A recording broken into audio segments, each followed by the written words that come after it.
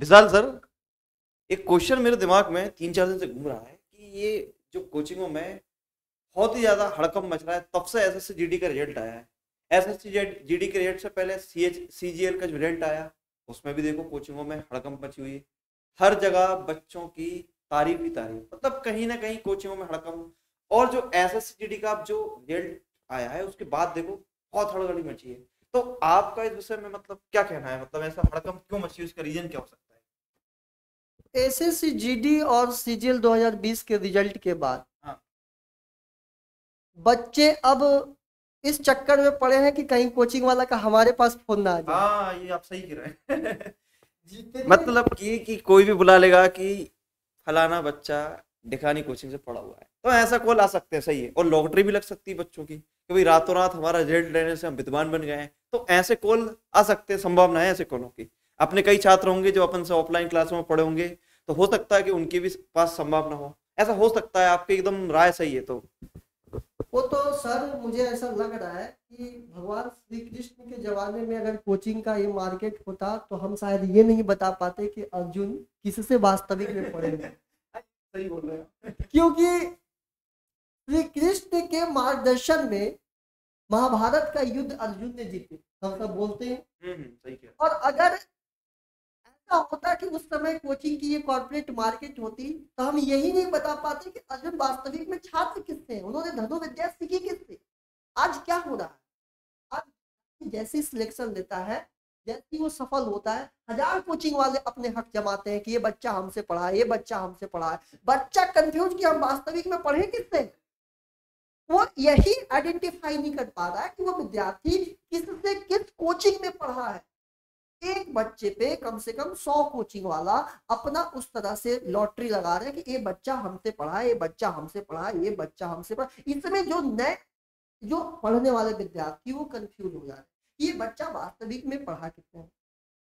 बहुत सारे कोचिंग वाले क्या कर रहे हैं? बहुत सारे कोचिंग वाले क्या कर रहे हैं? हवाबाजी हवाबाजी रिज़ल्ट आया नहीं कि हवाबाजी शुरू कर दिए।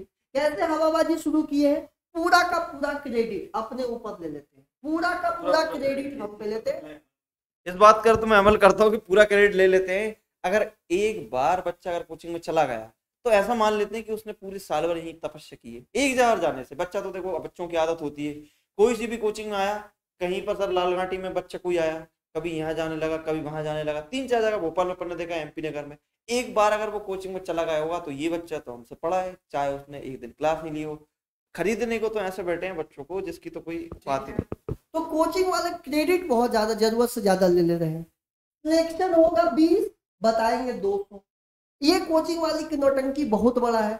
ज़रूरत से ज़्यादा से ज़्यादा बता देना संख्या कि इतने बच्चे सिलेक्ट हुए। अगर मुझे लगता है कि भारत के जितने कोचिंग के नंबर ऑफ़ सिलेक्शन जोड़ दिया है तो उतनी तो वैकेंसी भी अलॉट नहीं हुई होगी अगर जोड़ा जाए तो। बढ़ा चढ़ा के बोलना। याद रखिए, जो सबसे ज़्यादा फर्जी अगर नंबर ऑफ़ सिलेक्शन बता रहा है तो वैसे लोग से एडमिशन लेने से पहले दस बार विचार विमर्श करिएगा। क्योंकि नहीं तो आप हो सकता है अपना जेब कटवा सकते हैं। पहले ऑथेंटिक सीनियर से, अपने आसपास के आदमी से राय लीजिए कि वास्तविक में एक्चुअली में क्या हो रहा है।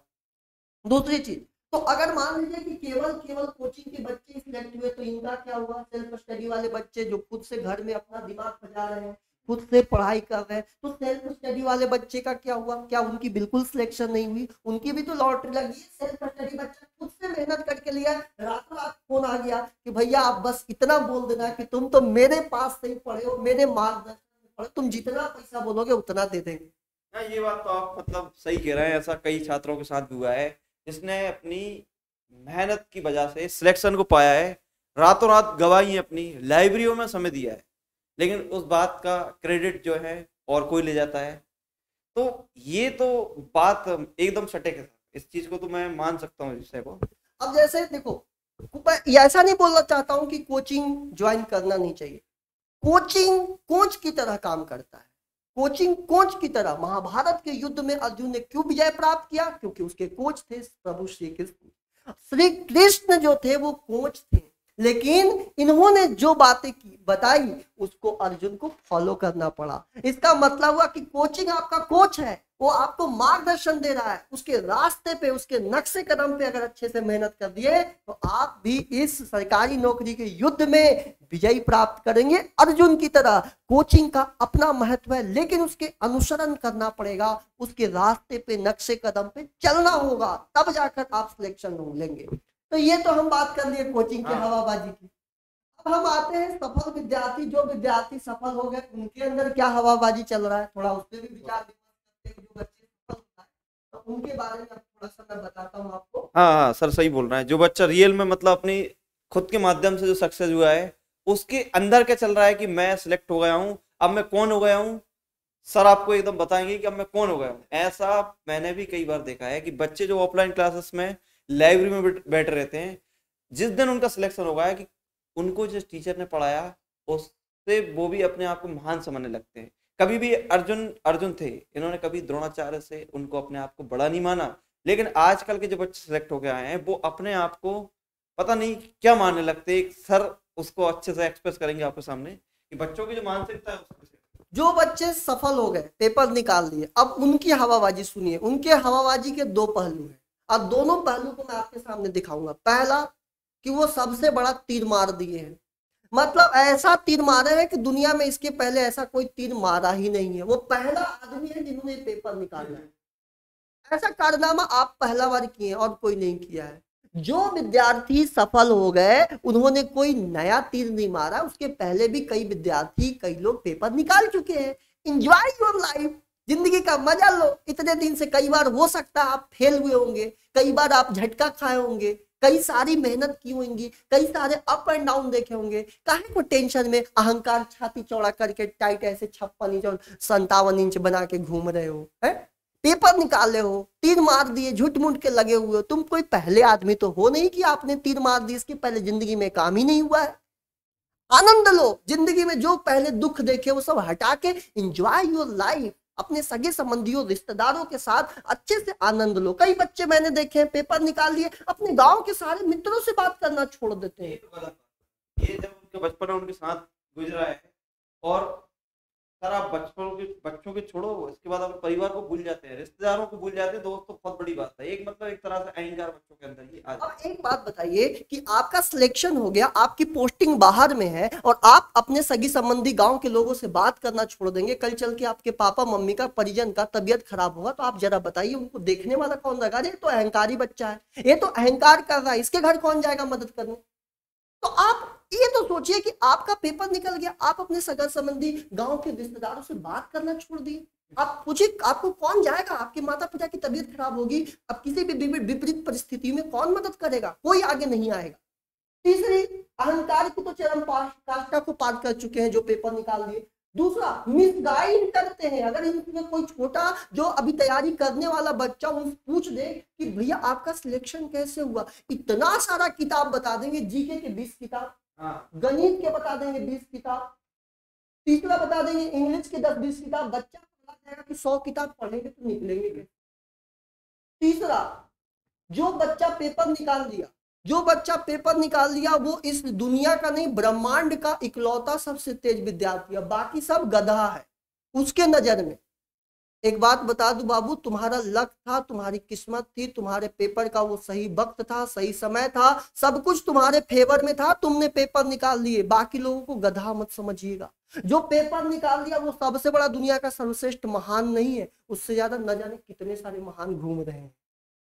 तो ये सब बातें अगर मेरी बात को रखोगे तो आप पेपर निकाल कर भी आप अपने अहंकार को थोड़े से डाउन कर पाओगे और इंजॉय कर सकते हो जीवन में, सगे संबंधी, दोस्त मित्र के साथ अच्छा से एकदम आनंद ले सकते हो। और जो पहले आपने सेक्रीफाई किया है जीवन को, उसको आनंद। अच्छा अब हम बात करते हैं थोड़ा गाँव के लोगों का क्या विचार है? गाँव के लोगों में क्या हवाबाजी चल रही है? देखते हैं। गाँव के लोगों में हवाबाजी के दो पहलू है।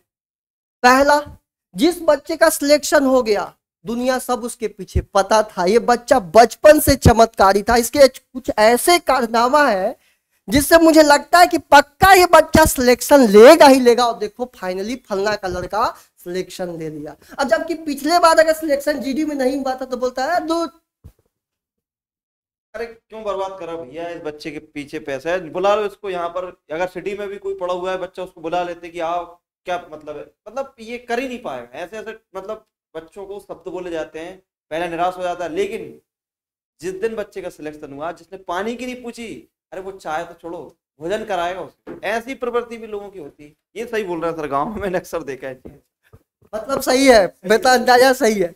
अच्छा अब देखिए, बचपन से तेज तो हो गया ये तारीफ़। मतलब कि ज़रूरत से चापलूसबाजी ज़्यादा करना, ज़रूरत से बढ़ चढ़ के आपको। दूसरा पहलू बताते हैं। अगर जिसका सिलेक्शन हो गया तो कुछ लोग क्या है निगेटिव अफवाह फैलाएँगे। उसका तो लगता है पक्का किसी के साथ सेटिंग था, पैसे उसे का। उसने पैसा उसा देकर कहीं ना कहीं अपना सेटिंग जमवा लिया है। और उसी में एक और निगेटिव वाले। अरे, उसके साथ किस्मत अच्छा इतने सारे लोग तैयारी कर रहे हैं। कहाँ किसी का हो रहा है? इसी का कैसे हो गया? किस्मत अच्छा ऊपर से धनी आदमी है, ऊपर से ही भेजे हैं सब, किस्मत के धनी आदमी है। पक्का लूट लिया है, क्या हमारे बचवा का होगा? और दूसरी बात जो बच्चे को अपने बाहर नहीं भेजते हैं, पढ़ाने के लिए नहीं आगे कहते हो कैसे अपनी मन को मारते अरे, हम तो गरीब आदमी है साहब। पैसा कहाँ है? बाहर भेजेंगे पैसा को। पूरा साल भर का खर्चा डेढ़ दो लाख रुपया जोड़ लेंगे। बताइए, सरकारी नौकरी की तैयारी करने में सर कितना दो लाख रुपया लगता है? बताइए जरा फ़ीस। दो लाख रुपए तो नहीं लगता, लेकिन एक मानसिकता ऐसी बना लेते हैं। अब कहीं पर आप उसे घर पर रख के देख लीजिए, जो घर पर वो खाना खा रहा है, सब कुछ काम कर रहा है तो उसके भी तो कहीं ना कहीं खर्चे होते हैं। आप उन्हें भी तो जोड़ कर देगी। तो वो भी तो आप कहीं ना कहीं कमा कर रहा है, लेकिन बाहर का खर्चा ज़रूर दिखाई देता। है मात्र बहुत ही कम बजट में ही कोचिंगों में पढ़ाई हो जाती हैं, लेकिन एक मानसिक अवधारणा ऐसी बनानी है लोगों ने, जिसके कारण कई सारे बच्चे पढ़ नहीं पाते। ये वीडियो बनाने का मेरा मेन मकसद था, हम सभी गुरुजनों का बस एक मकसद था। अभी हमारे साथ मनीष सर भी है, मनीष सर कब है। केवल एक मकसद था कि आप लोग को हम सही बातें ये बता सकें। जो कंक्लूजन था, कि फाइनली कंक्लूजन ये था कि कोचिंग के हवाबाजी से दूर रहें। जो विद्यार्थी वास्तविक रिज़ल्ट जितना है, उतने ही बताएँ, ताकि जो नए लोग हैं, नए विद्यार्थी हैं, वो गलत किसी के रिज़ल्ट पे नंबर ऑफ़ संख्या बढ़ा के बेवजह बता देना, उससे प्रभावित होते हैं, जाके एडमिशन लेते हैं ट्रैप हो जाते हैं, फंस जाते हैं। तो आप अपना सही एक्चुअल नंबर बताएँ। दूसरी चीज़ जो बच्चे सफल हैं, अहंकार करते हैं, अहंकार करके अपने साथी, मित्र सगे संबंधी को भूल जाते हैं, इतना ज़्यादा अहंकार में लीन हो जाते हैं कि वो अपने छोटी जो समान से समान मौलिक चीज़ें वो भी भूल जाते हैं। ये गाँव के लोगों के मैंने बताया कि जो आदमी सफल हो जाता है, उसके पक्ष में बात करते हैं, जो असफल रहता है, उसको नीचे दिखाते हैं। दूसरी चीज़ें निगेटिविटी फैलाते हैं, जो सफल हो जाता है, उसको मोरल डाउन करते हैं। तीसरी चीज़ जो बच्चा पढ़ना चाहता है, उसको भी पैसे के नाम पे अपनी गरीबी को आगे बढ़ाकर, उसको नीचे दिखाकर आगे बढ़ने से रोकते हैं। ये हमारा मेन मोटिव था। अब हम थोड़े से बस कम शब्दों में ही विराम करेंगे। कंक्लूजन थोड़ा मनीष सर क्या कहना चाहते हैं? तो देखिए साथियों, जिन जिनका भी एस एस सी के एग्ज़ाम में जो रिज़ल्ट आउट हुआ है, जिनका भी हुआ है, उनको बहुत बहुत बधाइयाँ और बहुत ज़्यादा कॉन्ग्रेचुलेशन और देखिए जिन लोगों का नहीं हुआ बिल्कुल घबराने की ज़रूरत नहीं है। देखिए, ये केवल एक सीढ़ी है, एक पड़ाव है। अभी ज़िंदगी बहुत लंबी है और हमें निरंतर चलते रहना है, क्योंकि मैंने आप लोगों से कई बार बोला है, नदी को नहीं पता रहता है कि उसकी मंजिल कहाँ है। जैसे जैसे वो चलती है, उसे पता लग जाता है कि वो महासागर में मिलने वाली है। ठीक उसी प्रकार हमें भी, आज हम चल रहे हैं तो एक दिन, आज देखिए हम भी एक पानी की बूंद के समान है और ये जो बूंद है, एक ना एक दिन अपने मकसद में, अपने महासागर में मिल जाएगी। तो भले ही आप आज एक पानी की बूंद हो, आपको एक ना एक दिन महासागर से मुलाकात होगी। तो चलते हम इसी के साथ और विशाल सर के पास। अब हम अपनी बातों को विराम देते हैं, बस थोड़ा सा रोहित सर से जानेंगे, लेकिन जो बच्चे सफल हो गए हैं, बिल्कुल भी आप गलत चीज़ को बढ़ावा न दें। आप रिज़ल्ट लेकर आए हैं, आप सफल हैं, अगर आप ही गलत करेंगे तो कैसे समाज में बाकी लोग अच्छा कर पाएँगे? आप रिज़ल्ट लाते हैं, आप दस दस कोचिंग में बता देते हैं कि मैं दस दस कोचिंग में पढ़ाऊँ इससे जो नए अभ्यर्थी हैं वो बहुत ज़्यादा कंफ्यूज हो जाते हैं। और वो किसी भी जिस कोचिंग में सबसे ज़्यादा नंबर ऑफ़ सिलेक्शन होते हैं, उसमें एडमिशन लेते हैं। जबकि वो ये निर्णय नहीं ले पाते कि वास्तविक में कौन सी कोचिंग आपके लिए मेहनत कर पाती है। रोहित सर से बस थोड़ा सा अंत कराना चाहेंगे हाँ थैंक यू विशाल सर। जैसा कि सर ने बताया कि बच्चों की एक मानसिकता ऐसी बन जाती है, अब जो बच्चे रियल में अगर कुछ करना चाह रहे हैं और जो सिलेक्टर जो सिलेक्ट हो चुके हैं, वो उनसे मत, मेरा इतनी ही हम्बल रिक्वेस्ट है कि उनको जो रियल में क्या पढ़ाई करना चाहिए, कैसे करना चाहिए, किन सोर्सों का प्रयोग करना चाहिए, वो सही बताना चाहिए। आपको ज़बरदस्ती कोचिंगों के बहकावे में आकर ऐसी कई सारी कहानियाँ नहीं बताना है जिससे बच्चे का माइंड डाइवर्ट हो। कोशिश करना है कि हम सिलेक्ट हुए हैं तो हमारी उसमें क्या, कौन सी मेहनत लगी है, हमने कौन कौन से ऐसे काम करे हैं जिनकी वजह से हम सिलेक्ट हुए हैं कौन कौन से ऐसे काम करे हैं जिनसे हम कहीं ना कहीं रिजेक्ट हुए हैं तो ऐसी बातों को बच्चों के सामने रखना है। एक आपको मार्गदर्शक के रूप में काम करना है ना कि कोचिंग के बहकाम में आकर। तो जितने भी पॉइंट सर ने रखे हैं वो एक रियल लाइफ के एक स्टूडेंट के उदाहरण है। तो आपको एक इस बात पे अमल करना है कमेंट बॉक्स में बताना है कि सर हाँ सच में ऐसा होता है बच्चों के साथ। तो तब अब मिलते हैं दोस्तों ऐसी एक अगली वीडियो के साथ और आप लोगों को जागरूक करते रहेंगे इसको हाँ अब आपको एक अच्छी शुरुआत की है वैसे विशाल सर ने। एक तो मैं चाह रहा हूँ कि आप लोग एक ऐसा कमेंट बॉक्स में टॉपिक लिखें कि, सर, इस टॉपिक पर वीडियो बनाइए, ताकि हम लोग उस टॉपिक के माध्यम से आपको और भी बातें बता सकें। क्योंकि स्टूडेंट जीवन से जुड़ी बहुत सी ऐसी समस्याएँ होती हैं, जिस पर हर टीचर खुल के ऑफलाइन क्लास में भी नहीं बोल पाता, क्योंकि बहुत सारे बच्चे वेट करते हैं कि टीचर पढ़ाए या हमें ऐसा भारी ज्ञान दे। ऑनलाइन क्लास की भी एक सीमा होती है तो हम कुछ शब्दों का प्रयोग करके आपको ज्ञान नहीं देते हैं क्योंकि बहुत सारे ऐसे मोटिवेटर मोटिवेटर हैं जो आपको मोटिवेट कर रहे हैं। बस कुछ आप बिंदु रख सकते हैं कि, सर, हमारे जो विद्यार्थी जीवन है, उसमें ऐसी समस्याएँ हैं, उसको कैसे मतलब उनको, किस समस्या से कैसे निकाला जा सके?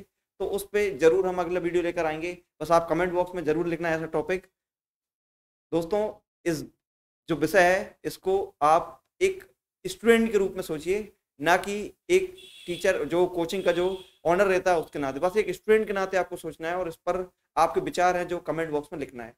ठीक है दोस्तों? धन्यवाद। जय हिंद, जय भारत।